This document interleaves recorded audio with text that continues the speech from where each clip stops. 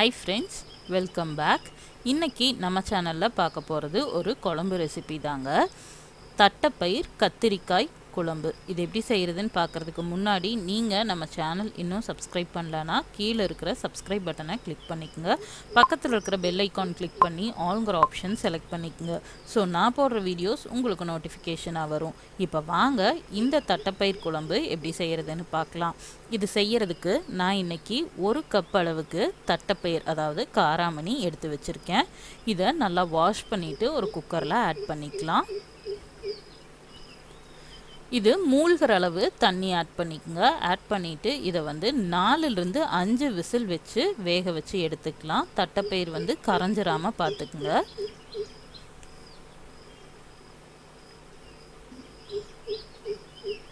இப்போது இது நல்லா வெந்துருச்சு. இதை தனியாக எடுத்து வச்சிடலாம் நம்ம இந்த குழம்புக்கு ஒரு மசாலா ரெடி பண்ணிக்கலாம். ஒரு பேன் வச்சுட்டு அதில் ரெண்டு டீஸ்பூன் அளவுக்கு ஆயில் ஆட் பண்ணிக்கலாம்.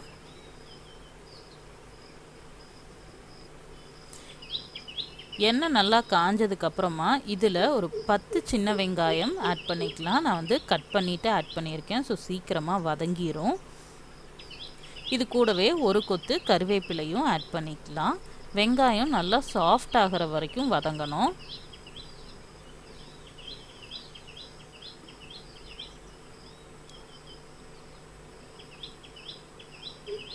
வெங்காயம் நல்லா வதங்கினதுக்கப்புறமா இதில் ஒரு டீஸ்பூன் அளவுக்கு சீரகம் ஆட் பண்ணிக்கோங்க. கூடவே நாலுலேருந்து அஞ்சு மிளகு ஆட் பண்ணிக்கலாம்.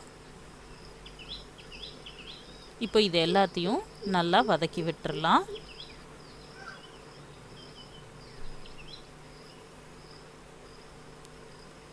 இது நல்லா வதங்கினதுக்கப்புறமா இதில் நம்ம மசாலாஸ் ஆட் பண்ணிக்கலாம். நான் வந்து ஹாஃப் டீஸ்பூன் அளவுக்கு தான் மிளகாய் தூள் ஆட் பண்ணியிருக்கேன். உங்கள் காரத்துக்கு தகுந்த மாதிரி நீங்கள் கூட்டவோ குறைக்கவோ செஞ்சுக்கலாம். ஒன்றரை டீஸ்பூன் அளவுக்கு மல்லித்தூள். இதை நல்லா மிக்ஸ் பண்ணி விட்டுருங்க. இது நல்லா மிக்ஸ் ஆனதுக்கு அப்புறமா ஹாஃப் கப் அளவுக்கு தேங்காய் துருவல் ஆட் பண்ணிக்கலாம்.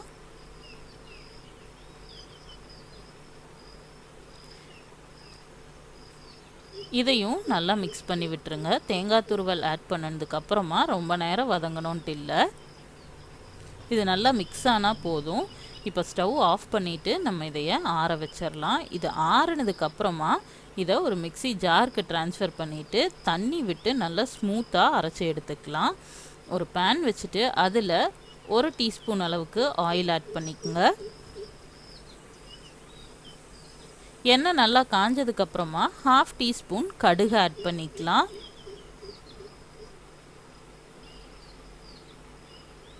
கடுகு நல்லா பொரிஞ்சதுக்கப்புறமா நாலு சின்ன வெங்காயம் நல்லா ஃபைனாக சாப் பண்ணிவிட்டு ஆட் பண்ணிக்கலாம்.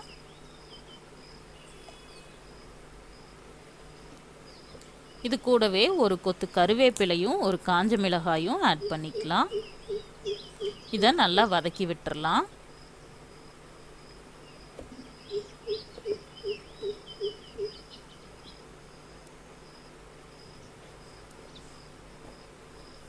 இப்போது இது நல்லா வதங்கிருச்சு.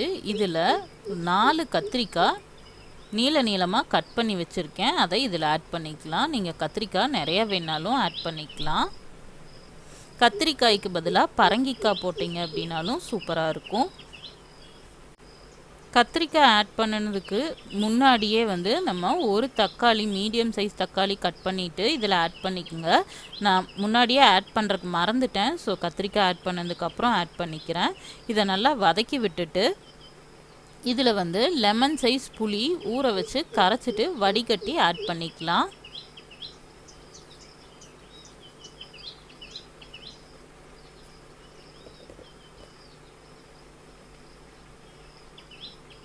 புளி ஆட் பண்ணதுக்கப்புறமா இதில் கால் டீஸ்பூன் அளவுக்கு மஞ்சள் தூள் ஆட் பண்ணிக்கலாம்.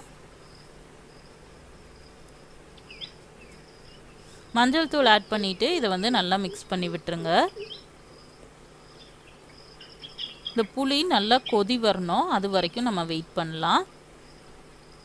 புளி நல்லா கொதிக்கிறக்கு ஆரம்பித்த உடனே நம்ம அரைச்சி வச்சுருக்கிற அந்த மசாலாவை இதில் ஆட் பண்ணிக்கலாம். கூடவே தேவையான அளவு தண்ணியும் ஆட் பண்ணிக்கலாம்.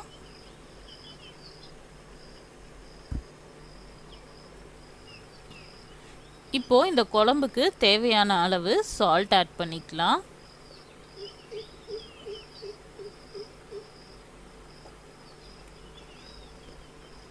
சால்ட் ஆட் பண்ணிவிட்டு இதை நல்லா மிக்ஸ் பண்ணி விட்டுருங்க.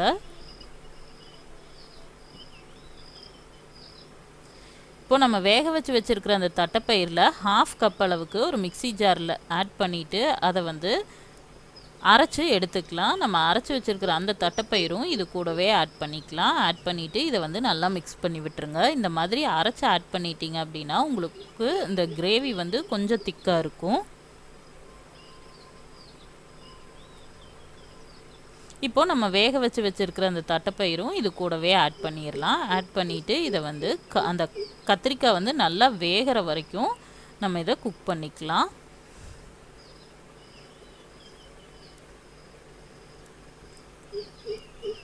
அப்பப்போ மிக்ஸ் பண்ணி விட்டுட்டே இருங்க இல்லைன்னா அடி பிடிச்சிரும்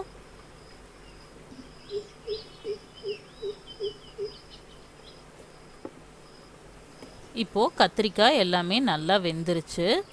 நம்மளுக்கு கிரேவியும் ரெடி ஆகிருச்சு. கொஞ்சமாக மல்லி இலை மேலே ஆட் பண்ணிக்கலாம். மல்லி இலை ஆட் பண்ணிவிட்டு இதை வந்து நல்லா மிக்ஸ் பண்ணி விட்டுருங்க. மிக்ஸ் பண்ணி விட்டுட்டு ஸ்டவ் ஆஃப் பண்ணிவிட்டு இதை எடுத்து சர்வ் பண்ணிடலாம் அவ்வளோதாங்க சூப்பரான தட்டைப்பயிர் கத்திரிக்காய் குழம்பு ரெடி ஆகிருச்சு.